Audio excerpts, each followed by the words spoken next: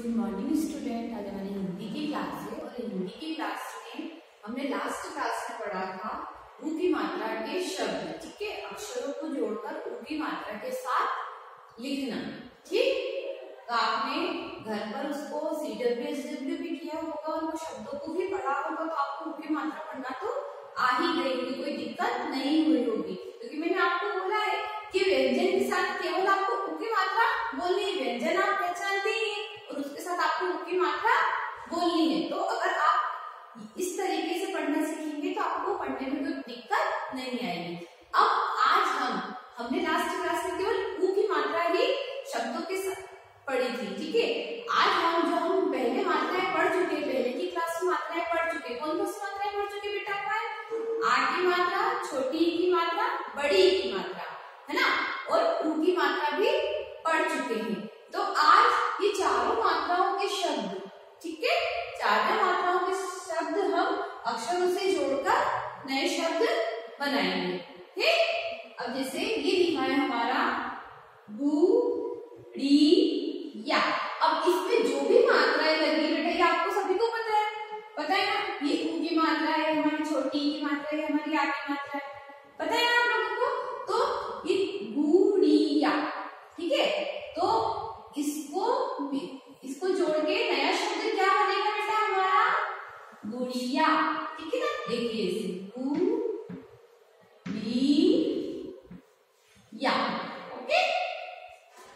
अब ऐसे ये लिखा सु, ब ठीक? क्या गया नया शब्द? सुबह। क्या पढ़ेंगे इसको सुबह। अब हमारा है ये क्या लिखा बेटा? दू, नी या ना? दुनिया। देखिए सर वही मात्रा है ना बेटा जो हम पढ़ चुके हैं तो आपको दिक्कत नहीं आ रही ना बोलने में और समझने में? तो नया शब्द क्या हो गया?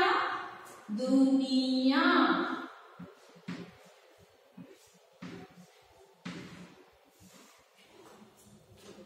इसके बाद है हमारा, क्या लिखा बेटा? मु कु ट है ना? केवल व्यंजन के साथ मात्रा को उच्चारण किया हमने मु कु ट अब इसमें कोई मात्रा नहीं तो बोलेंगे नहीं ना मुकुट नया शब्द क्या हो गया हमारा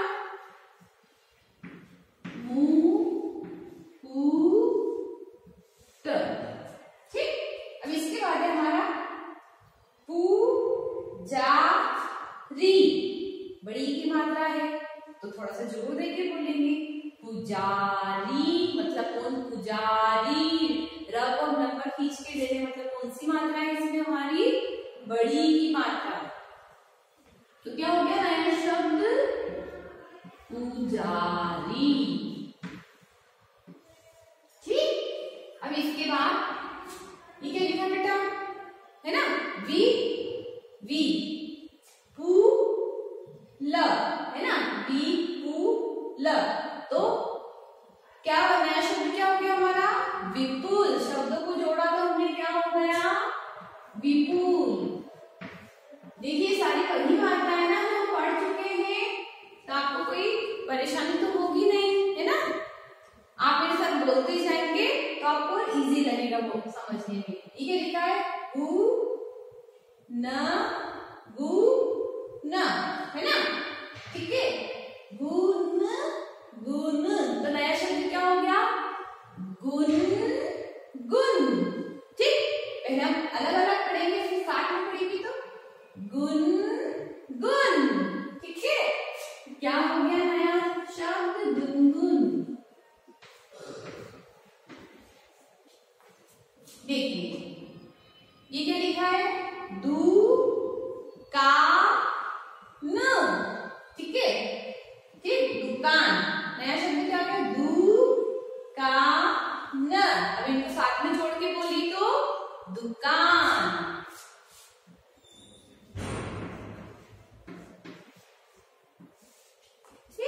अब देखिए, ये क्या लिखा बेटा? क छू। आ। साथ में पढ़ के बोलेंगे तो क छू, आ। तो एक साथ बोलो कछुआ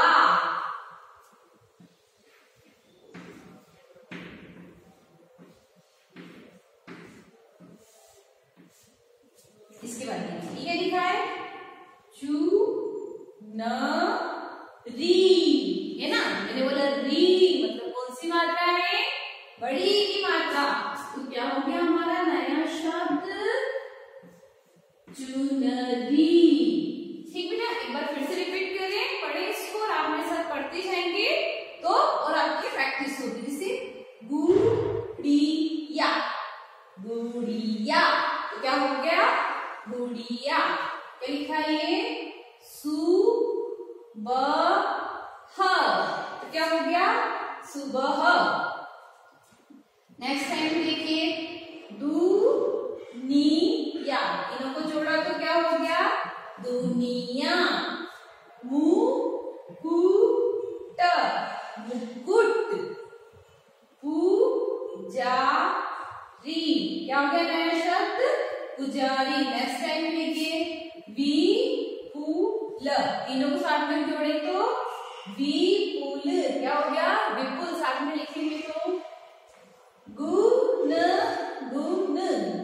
गुनगुन दुकान। दुकान। कछुआ। कछुआ। चुनरी। चुनरी। ठीक है बेटा? अब जैसे कि शब्दों को जोड़कर लिखना है तो आप लिख तो सकते हैं ना ठीक है अब इसको हमको पढ़ना भी है तो आप लिखते भी जाएँगे और जैसे मैंने आपको भी समझाया क्लास में कि हमने वन वन वर्ड कैसे करा हमने पहले अलग अलग पढ़ा क्योंकि हमारा अलग अलग लिखा हुआ है फिर जब साथ में लिखा हुआ है तो साथ में भी बोलना है आपको ठीक है बेटा और अगर आपको मात्रा समझ में नहीं आ रही है तो आप मुझे वॉइस मैसेज भेज सकते बेटा, मैं और अगली क्लास में और क्लियर आपको मात्राएँ कर दूँगी। और इसमें हमारी सारी मात्राएँ हैं जो हम पहली क्लास में पढ़ चुके हैं। ठीक है ना बेटा? तो आपको इसमें पढ़ने में कोई भी दिक्कत नहीं आएगी और नहीं, अगर कुछ समझ में नहीं आ रहा है तो हम मात्राएँ समझ में नहीं आ रही है बोलना नहीं आ रहा है तो आप मुझे वॉइस मैसेज कर देंगे तो मैं अगली क्लास में और क्लियर कर दूँगी। वैसे कोई दिक्कत नहीं आ रही है। आपको मैंने पहले भी समझाया है कि केवल के साथ, केवल व्यंजन व्यंजन के साथ उनको मात्राओं का, मात्राओं को बोलना है। ठीक है ना बेटा? तो जैसे ये तू, है ना? हमने तो व्यंजन भी बोल दिया साथ में मात्रा भी बोल दी।